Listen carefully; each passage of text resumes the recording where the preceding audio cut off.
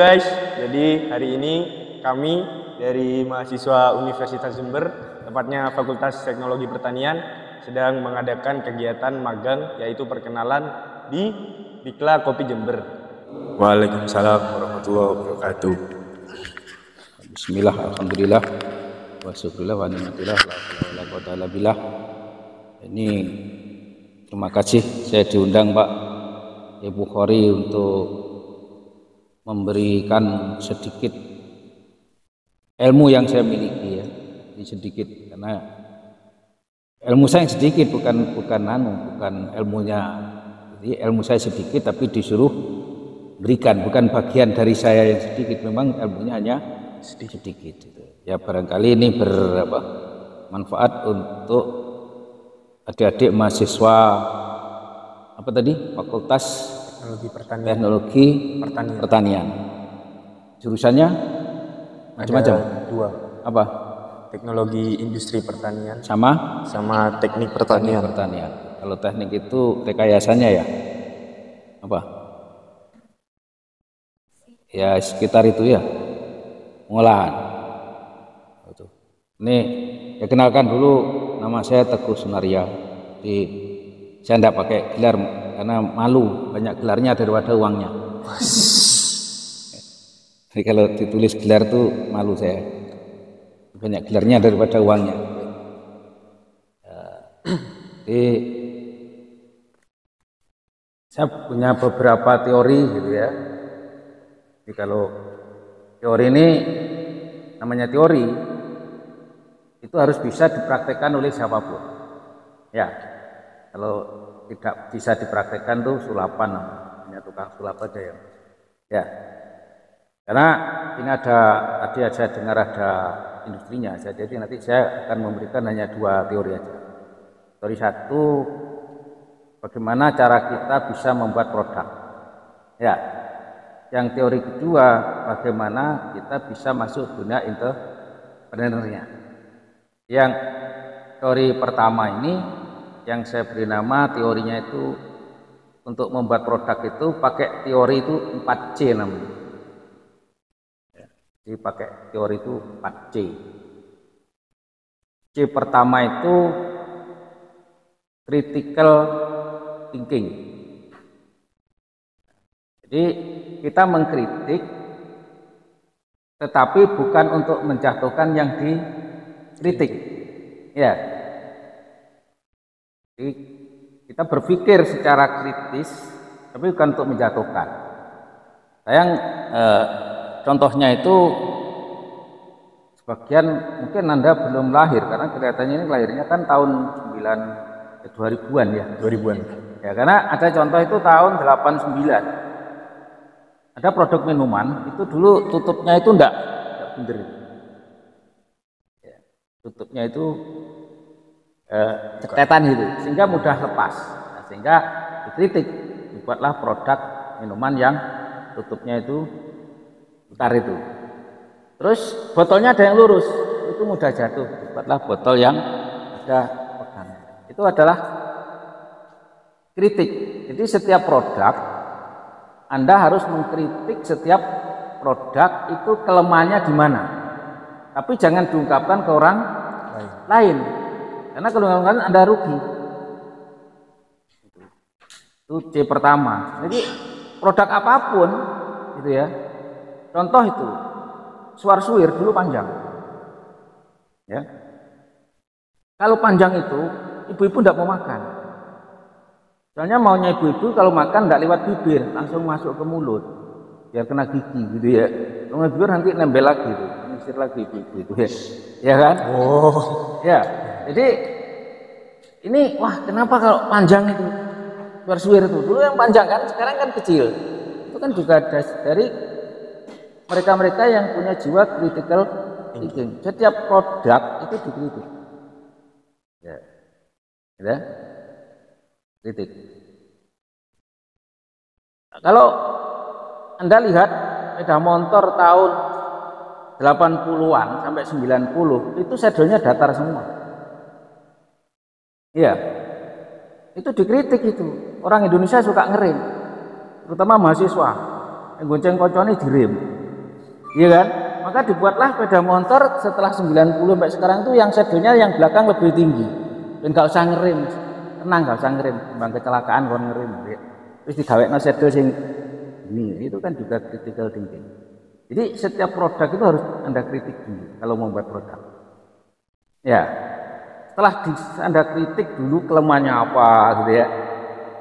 Jangan jangan dilem, dicari apa? kelemahannya. Bisa Anda tahu sendiri, bisa tanya ke orang lain. Anda tidak suka ini, Anda suka ini enggak, enggak suka karena apa? Itu kepo, kepo. Ya. Kan Anda, wah aku nggak suka ini. Karena gini-gini. Nah, itu diidentifikasi. Ya. Kopi dulu itu banyak ampasnya.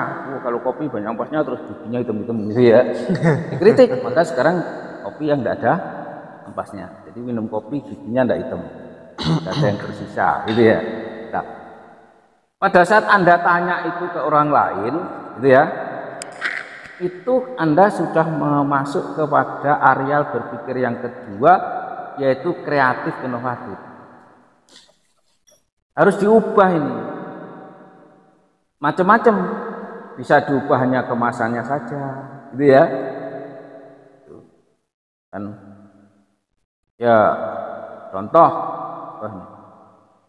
Kalau hari biasa ini minuman gelasan 220 mili ya kan? Tapi lebaran tinggal berapa itu? 60 atau tinggal 90 mili?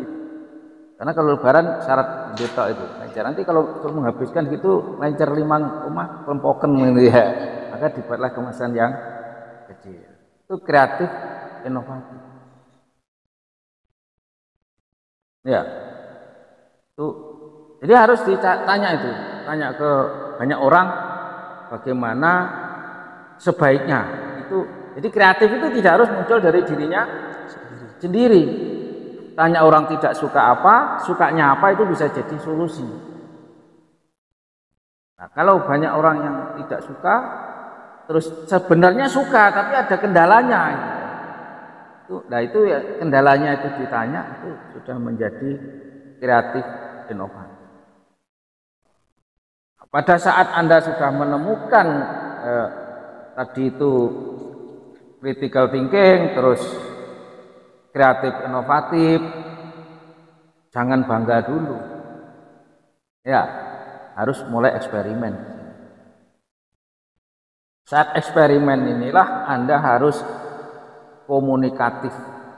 Diberikan pada orang lain untuk mendapat apa feedback ya, ya. bagus enggak ini? Um, apa namanya? Yang anda, akan anda luncurkan ini. Ya. bagus enggak ini? Ini caranya. Nah nanti 4C kan pada saat setelah ini selesai, Anda juga jangan sendirian. Cari orang-orang yang seide, ya kan? Kolaboratif. Supaya apa? Bisa ini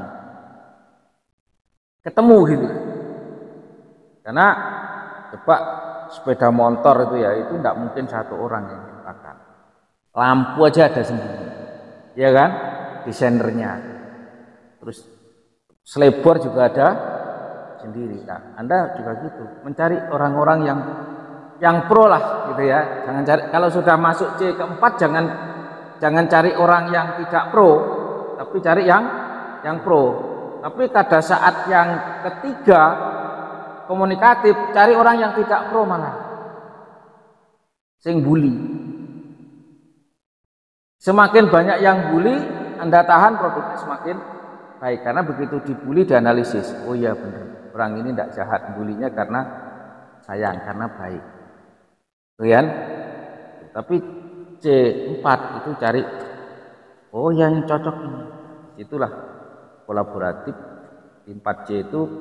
Jadi kalau anda membuat produk masuk pertamanya harus menggunakan critical thinking. thinking. Produk apa saja sudah anda mau masuk produk apa? Critical thinking dimasuki dulu diamati dulu Nah, dengan adanya Anda kolaboratif, ini kelemahan. Kelemahan orang Indonesia itu adalah kolaboratif. Itu kelemahan. Jadi kalau sudah diajak kolaboratif itu jarang orang mau. Ya. Jarang orang mau. Padahal kolaboratif itu solusi. Solusi kepada semuanya itu sebenarnya kolaboratif. Ya. Solusi. Nah, di sini saya orang kan orator ya, jadi silakan sebelum saya masuk teori yang kedua ditanyakan dari empat C tadi mungkin apa tanya karena belum paham atau tanya karena ingin tahu lebih benar monggo belum saya lanjutkan yang ke teori yang kedua untuk masuk dunia entrepreneur monggo silahkan hmm? Hmm?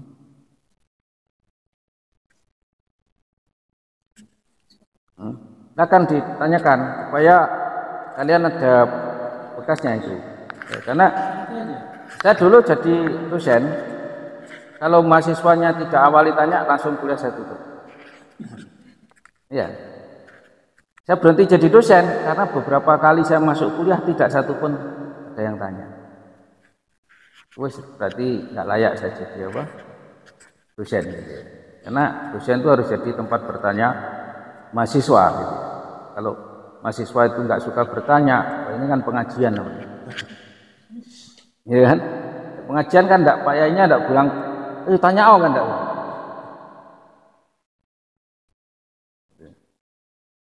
Karena saya jadi mahasiswa, kalau enggak bisa bertanya yang membuat dojennya gobios itu saya enggak puas itu. Jadi saya sering kali enggak usah kuliah, enggak usah ujian. Nah, kamu enggak usah ujian lulus. Karena pertanyaannya membuat dosennya bingung.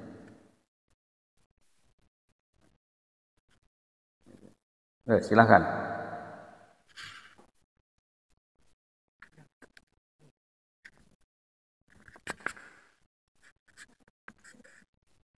Hmm? Tidak ada. Loh, kalau tidak ada, ada enggak? Hmm? Ya kalau tidak ada, tidak apa-apa. Kalau ada, kalau ada monggo senang saya kalau ada. Hmm? Oh, ada. Ya udah, kalau data itu teori satu ya. Ya, teori yang kedua gitu ya.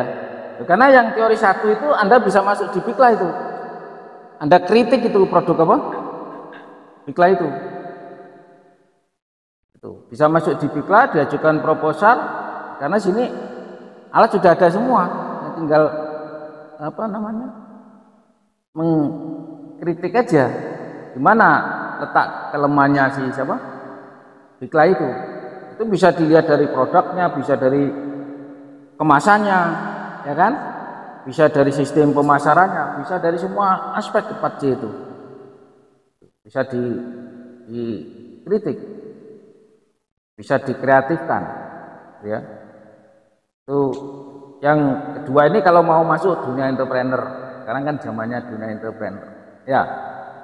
Jadi kalau sering kali kan ada hambatan begini katanya ya, mau wirausaha mesti tidak ada modal gitu ya.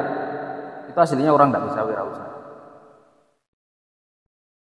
Jadi kalau ada pertanyaan orang wirausaha tidak bisa tidak bisa wirausaha karena tidak punya modal. Itu aslinya orang tidak bisa wirausaha. Diberi modal pun tidak akan bisa wirausaha. Ya. Karena orang wirausaha itu harus bisa punya magnet. Magnet itu apa? Benda di sekitarnya kan tertarik. Ya kan? Tertarik. Saya teori itu enggak, enggak saya buatkan, saya praktekkan itu. Praktekkan. Ya, saya praktekkan. Kalau mau masuk dengan entrepreneur itu ada empat hambatan ya, yang ini harus dilalui oleh siapa pun yang masuk dunia entrepreneur. Hambatan pertama itu skill, ya, teorinya itu. Jadi masuk di entrepreneur harus empat hambatan harus dilalui. Satu skill. Skill itu apa? Keahlian ya. ya keahliannya ini multi ya, tidak satu bidang keahlian. Karena entrepreneur itu harus mampu menyatukan empat faktor produksi. Apa empat faktor produksi itu? Hmm? Tanah, tempat, gitu, ya, tenaga kerja, skill dan modal. Itu keahlian dan modal itu orang skill ini, skill. Nah, skill ini bisa diperoleh bermacam-macam. Bisa magang, seperti Anda magang, ini harus meningkatkan skill. Kalau magang tidak meningkatkan skill itu namanya observasi. Bisa cerita. Orang observasi itu kan hanya bisa cerita. Ya kan? Jadi kalau magang itu harus bisa meningkatkan skill. Ya, bisa kursus, bisa otodidak, bisa kuliah. Itu kalau skill. Ya, bisa penelitian. Kalau saya sama Pak Imron punya skill karena penelitian. Punya skill karena penelitian. Kenapa dikatakan demikian? Tidak kursus, juga tidak kuliah, juga tidak magang.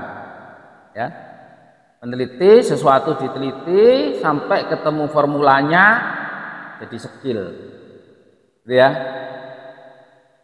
itu jadi jangan jangan memasuki dunia entrepreneur yang anda tidak punya skillnya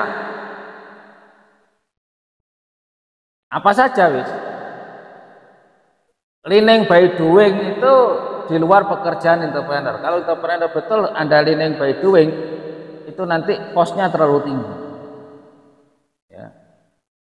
Nah kalau mungkin di, di, di kampus diajari BMC mungkin ya, ya bisnis model kanvas, ya kan, kampus diajari itu. Nah, pada saat anda masuk segmen pasar, itu kan harus diteliti itu segmen pasarnya itu, segmentasi pasarnya itu kayak apa, gitu kan? Anda mau membuat apa, segmen pasarnya seperti apa. Kan itu di PMC itu. 9 itu. Anda belajar 9 itu ditambah dua teori ini sudah bagus. Ya. Nah, ya, saya sampaikan dulu biar kalian tidak ragu-ragu. Walaupun saya saya gini ya, proposal saya itu produknya sudah ekspor. Nah, saya punya anak perempuan, punya jatuh cinta pada cowok, cowoknya pengangguran. Ya, mungkin bagi orang lain pusing ya. Ya saya, ya, kamu senang bener sama itu, ya senang. Syaratnya satu, mau ndak dididik ayah, kalau ndak mau cari pendidikan sendiri. Ya mungkin karena mau gitu ya, sudah itu nikah saya didik. Akhirnya apa? Saya ajak buat proposal, alhamdulillah tak ajukan ke pengusaha diterima. Jadi saya pun sekarang kalau ke Jakarta itu ya tidak perlu cari hotel, tidak perlu apa ya sudah ada rumah yang bagus, kendaraan yang bagus gitu ya. Untuk operasional saya ke Jakarta itu ada saya gitu ya. Karena MOU-nya itu saya yang jalankan menantu saya gitu ya. Jadi skill aja. Yang kedua kapital, modal. Nah, modal itu bisa dari mertua, bisa dari ayah, bisa warisan, bisa pinjam, bisa gitu. Nabung bisa. Nah, seperti saya modal dari mana? Kerjasama. Kalau kita jadi magnet, modal bisa kerja kerjasama. Ya. Saya sama Pak Imron dalam rangka memotivasi masyarakat ini kerjasama modal nanam nanas. Ya. Yuk, kerjasama modal nanam nanas patungan orang tujuh nanti kiamati bagaimana biar menjadi model ya jadi mod, mod, modal bisa seperti itu.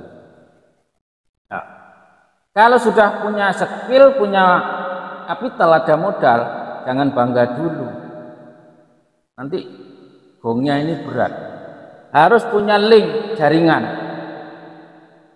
Kalau tidak ada linknya, susah. Ya, susah.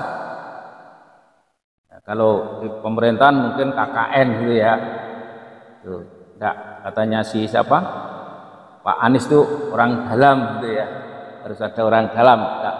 Kalau di, di dunia entrepreneur nggak kenal orang dalam, mutu yang dikejar soalnya. Walaupun ponaan apa produknya jelek juga nggak bakal dibeli, ya kan? Hanya skill tadi, modal, terus link. Kalau sudah punya link bagus, linknya banyak, uh, syarat membangun link, ya kan?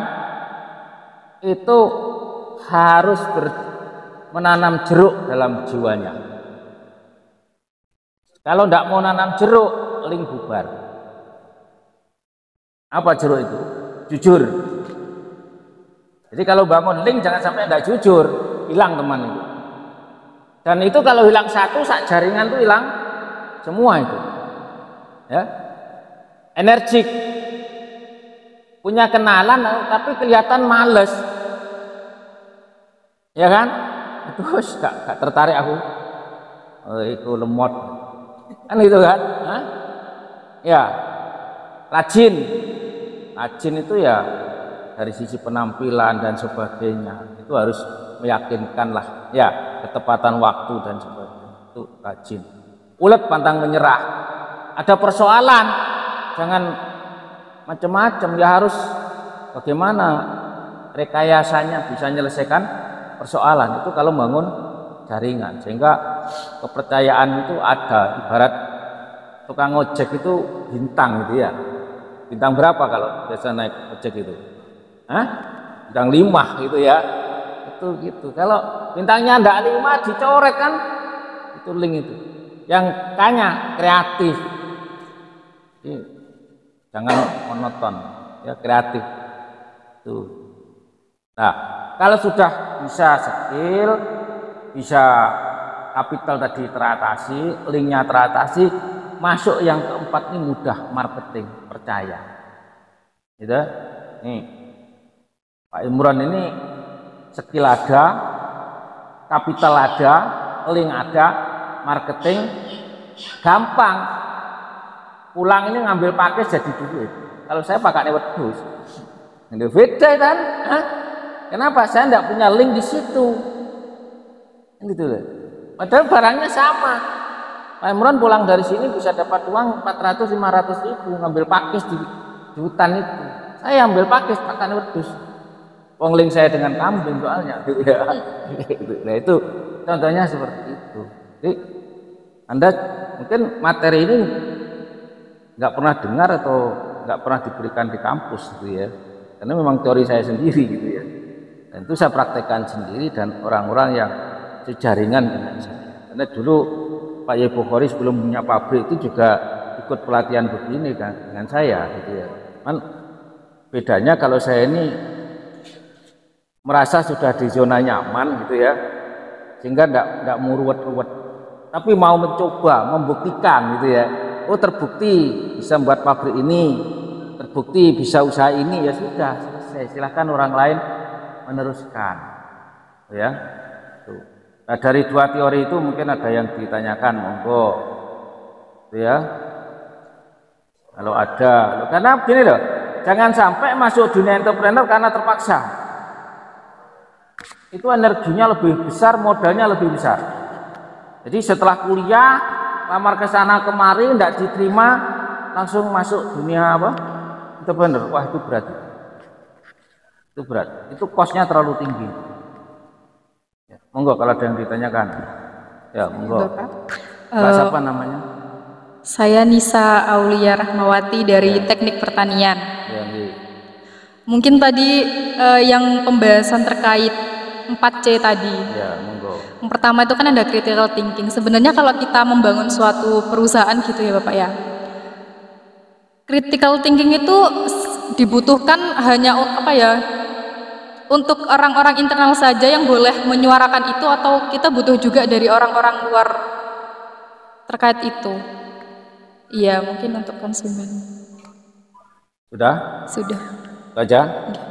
Jadi gini, critical thinker itu yang memerlukan tuh personal ya. Siapa yang ingin mengubah atau memproduksi suatu barang. Ya, apakah perusahaan itu sendiri karena mungkin pasar menolak perlu di apa inovasi bisa jadi ya kan atau dirinya sendiri ingin membuat suatu produk mengamati produk-produk yang sudah ada itu. Bisa jadi internal perusahaan bisa jadi dirinya sendiri lah. Kalau saya bukan orang perusahaan misalkan ya itu membuat sendiri. Misalkan kalau ada produk kopi misalkan iklan ini. Saya punya kopi 3 in 1 dan itu bisa dibuktikan. Jadi minuman menyehatkan mencegah diabetes dan sebagainya. Kedua untuk masker supaya tanpa skincare. Ketiga penumbuh rambut. Jadi penumbuh rambut itu bagi rambutnya yang sudah mau brodol-brodol atau ya ada rontokan itu bisa jadi solusi. Itu saya membuat kopi critical thinking dari Bikla yang katanya kopi rempah itu saya, saya kritik itu. Saya, saya buatkan solusi. Contohnya seperti itu, monggo. Ya, uh, izin bertanya lagi. Untuk kalau kita mau mengkritik suatu produk itu, biar tersampaikan kepada apa ya tempat produksinya, itu apakah ada prosedur khusus atau prosedur sesuai standar atau gimana cara kita biar kritikannya kita itu tersampai gitu? Kalau sekarang ini kan zaman apa? Online ya, itu bisa langsung kita kepada yang bersangkutan, gitu ya. Bisa juga kita pakai apa ya istilahnya apa main di medsos. Ya. nanti orang lain tertarik bisa juga seperti itu. Jadi gini saya pernah dikontrak Kalbi Farma ya itu cerebrofit ya jadi cerebrofit itu saya kritik marketingnya karena cerebrofit itu untuk anak usia SMP ke bawah. Ya. Nah, bagaimana supaya bisa orang-orang desa dan sebagainya ini tahu cerebrofit karena ada zat bagus dalam cerebrofit itu ini bisa gini. Saya saya ajukan itu marketingnya loh. Saya tidak meng, tidak mengkritik anunya apa namanya itu produknya. Saya mengkritik marketingnya. Sehingga nah, di situ saya dapat dana untuk setiap event di setiap sekolahan dari casernya KB Pharma itu 2 juta. Saya dapat berapa itu? Hampir lumayan saya sampai sampai diperingatkan karena sering bolos nggak ngajar. ya, kenapa? Karena KB Pharma jam sekian saya harus di Probolinggo, di situ Bondo ke sekolah-sekolah itu ya untuk supaya apa profit itu bisa di dikonsumsi oleh anak SD gitu. Ya. gitu. Contohnya seperti itu. Jadi bisa disampaikan, bisa kita main seperti yang di Jakarta. Saya tidak ngajukan proposal, tapi saya main di medsos. Gitu ya. Oh saya bisa gini-gini, akhirnya terjadilah negosiasi. Contohnya seperti itu. Ya. Oke, ada lagi? Silahkan. Oke, monggo. Berilah ada dua yang bertanya. Kemudian semuanya bisa bertanya. Perkenalan. Ya, Perkenalkan nama saya Bianda Arneta dari Teknik Pertanian. Nah, kan tadi kan yang sudah Bapak sampaikan terkait bereksperimen atau meminta penilaian kepada masyarakat terkait produk yang dihasilkan. Nah, kan e, di antaranya kan seperti memberi kritikan ya Pak ya tadi ya yeah. memberi kritikan terhadap produk dari suatu perusahaan. Apabila mereka sudah memberi eh, kritikan atau komentar terkait produk yang sudah dihasilkan, namun harga harga pasar yang mereka inginkan itu tidaklah sesuai standar atau tidak sesuai dengan harga pokok penjualan yang perusahaan tetapkan. Kan hal itu kan bisa menjadi penurunan kuantitas dari pemasaran produk perusahaan, Pak. Nah, itu bagaimana cara menghadapi konsumen atau pelanggan yang seperti itu, Pak? Oh ini mohon maaf saya tanya ya. Ini menurut masyarakat produknya bagus. Hanya Um, masalah harga tapi masih minta kritik, tapi masih kritikan apa ya buat eh, apa? Di-upgrade lagi gitu loh, Pak. Nah, maksudnya gini, yang ada maksud, misalkan ada produk sambal pecel khas Jember gitu ya. Oke. Nah, ini Anda tanya minta penilaian masyarakat kan untuk sampean eh, untuk Oke. mbak, Mbak itu bisa masuk ke critical thinking. Apa yang karena Mbak tidak bisa ngeritik sendiri kan, Oke. Nah, minta bantuan masyarakat. Sambal pecel ini apa kelemahannya atau Oke. kekurangannya gitu kan? Terus yang dimaksud apa mengenai harga tadi itu? Apa sambal pecel ini menurut oh ini enak tapi harganya kemahalan? Oke. Oh gitu kan. Nah sekarang sebenarnya masalah harga, ya kan? Itu akan tercover kalau kita tidak menjual produk, ya kan? Kita yang jadi kalau kita menjual produk sudah menyangkut harga, itu jangan menjual produknya saja, mesti murah. Tapi harus ada es yang lain yang bisa dijual. Ya kan? Apa yang bisa dijual? Ini ini ya banyak yang bisa dijual ya yang membuat harga mahal. Satu kepuasan ya. Contoh habis mangan sambel perutnya sakit. Itu kan tidak puas. Semurah apa pun dibeli tidak tidak bakal dibeli. Ih, sambelnya gak cocok aku. Enak tapi mana wetengku apa? Panas gitu kan? Nah. Tapi kalau sambel ini wah habis makan sambel ini kok anu ya saya BAB nya itu ya mohon maaf ya kita bicara kepuasan ya BAB saya itu tidak mencret bisa lancar gitu ya nah ini kan kepuasan nah kalau orang sudah dengan ada kepuasannya itu harga tidak jadi soal sudah Anda lihat itu. Sepeda motor Honda sama kompetitor itu harganya mesti mahal mana? Honda kan? Kepuasannya mana? Harga jualnya lebih tinggi daripada yang lain. Itu aja kalau dinaiki kan sama saja itu. Kan ya? Saya tanya itu. Wah, lek Suzuki ngedole wangel, yang ngedole wangel kan gitu ya. Karena masyarakat sini kurang, tapi kalau waktu saya di Madura malah Yamaha yang laris. Jadi waktu saya di Madura dulu ya, sekarang nggak tahu gitu ya. Ini contohnya seperti itu. Jadi kepuasan itu ya.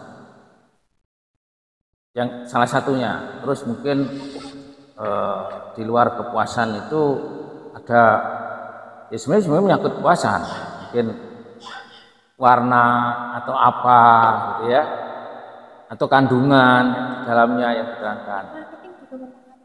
Apa? Kalau marketingnya itu itu kan sudah menyangkut kepada kalau kita mau kepada tadi itu masuk di dunia itu trainer. Ini masuk produknya dulu.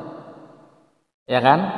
Jadi kalau kita mau membuat produk, ini nanti ada dua materi kan? Satu membuat produknya, kedua kalau masuk dunia trainer. Jadi kalau yang yang pertama ini kita tidak bicara marketingnya dulu. Tapi bisa membuat produknya dulu yang menurut estimasinya bisa diterima pasar. Ya. Dengan adanya kolaborasi tadi bisa diterima oleh pasar. Itu. Jelas ya? Jadi kalau yang 4C jangan bicara marketing dulu. Marketing itu bicara masuk entrepreneur. Gitu. Jadi entrepreneur produknya apa? Ngambil dari 4C oh saya jaringan punya gitu ya modal ada skill ada itu enggak kalau ada lagi ya mana kira-kira apa yang saya sampaikan bisa dipahami ya masnya hmm? Oh, tanya, tanya, monggo monggo. Ya, izin bertanya Pak. Iya. Terkait critical thinking itu kan pasti pada saat konsumen melakukan kritikan kan ada kritik yang membangun dan kritik yang menjatuhkan. Bagaimana tanggapan dari kita jika seandainya ternyata konsumen tersebut merupakan seorang kompetitor yang membuat kritikan untuk dengan niat menjatuhkan? Seperti itu. Kan kita tidak mungkin tanya ke satu orang kan. Kalau kita tidak kreatif, tanyanya kepada banyak banyak orang gitu ya, sehingga kita tahu ini nilai ini subjektif apa objek objektif itu dengan mudah sekali kita kita ketahui, gitu ya, kita ketahui, ya, kita ketahui. Itu ini. Ini teori, teori ini kalau anda praktekkan gitu ya, anda anda amati betul. Ini kenapa? Saya sekarang juga lagi merencanakan produk ada ada satu, ada dua sebenarnya tapi yang saya terangkan satu aja ya saya ini lagi desain 4C berdasarkan air isi ulang saya ini merencanakan usaha air isi ulang ya saya lihat air isi ulang ini kan tidak melalui laboratorium lain dengan air kemasan ya kan Ya. Nah, saya membuat laboratorium sendiri yang bisa dipraktekkan oleh semua masyarakat. Apa? Coba air isi ulang digunakan masak berapa hari nasi itu basi. Saya membuat nas air yang kalau digunakan masak 24 2 kali 24 jam nasi tidak basi. Gitu. Karena kalau nas, nasi cepat basi itu kan berarti airnya asam ya kan kalau asam masuk di perut kan mudah kembung orang ya kan tuh saya lagi merencanakan ini tuh. terus kedua untuk ujinya silahkan daun-daun yang layu dimasukkan di air yang saya buat itu nanti seger kembali. Videonya saya ada untuk ujiannya. Di daun kita jemur sudah mau kering masukkan air itu warnanya segar seperti baru baru dipetik. Daun yang linting-linting masukkan segar lagi kaku lagi. Itu bisa anda coba semua air kalau nanti kalian ke saya ingin tahu airnya itu tak buatkan silahkan bawa botol kosong ya kan? Dan nanti kalau airnya dari saya ya apa nanya silahkan bawa air sendiri-sendiri gitu ya. Maksudnya yang ada di botol nanti bawa pulang dipraktekkan untuk masak sama untuk tuh gitu ya. Kan gitu. Ini critical thinking karena orang minum air isi ulang yang tanpa laboratorium ya, macam-macam kan nanti. Gitu. ya embung dan sebagainya lah.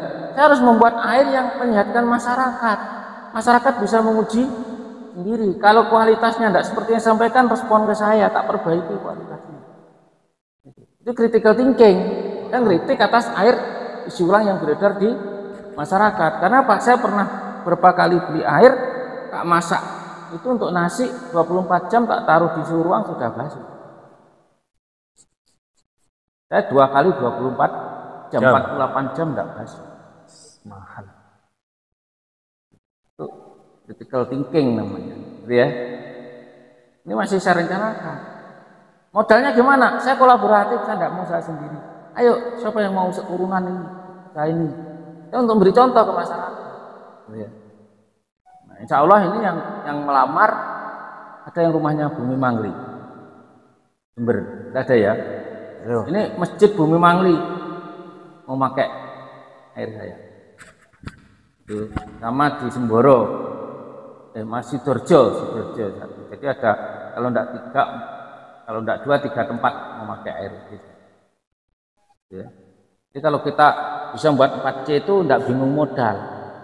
Orang lain siap untuk modali. Ya kan? Itu. Karena modal di masyarakat itu berserakan ya modal di masyarakat itu berserakan kalau kalian bisa membuat produk yang bagus, modal datang sendiri. Itu. Modal datang sendiri. Ya. Jadi ada kata-kata wah mau usaha enggak punya modal. Perlu perbaiki 4C dulu. Ya. Ada lagi? Dadah. Mungkin cukup. Macam katanya? Cukup ya. Nah, bagaimana yang saya sampaikan bisa dipahami? Insya Allah. Ada yang mau mencoba minimal 4C-nya atau yang masuk di entrepreneur-nya? Belum kepikiran. Pikiran, ya apa-apa. Paling tidak ini jadi modal awal. Magang, ya kan? Harus bisa dibedakan antara magang sama observasi. Kalau magang nambah skill, kalau observasi bisa cerita. Itu aja. Ya. Makasih ya. Kurang lebihnya saya mohon maaf. Saya akhiri wassalamualaikum warahmatullahi wabarakatuh. Waalaikumsalam warahmatullahi wabarakatuh. Oke guys, itu tadi merupakan penjelasan yang telah dijelaskan oleh Profesor Teguh. Jadi jika ada pertanyaan, silakan langsung ditanyakan di kolom komentar.